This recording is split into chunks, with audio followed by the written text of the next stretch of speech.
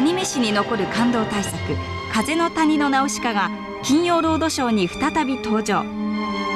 原作脚本監督は数々の大ヒット作品を生み出した宮崎駿。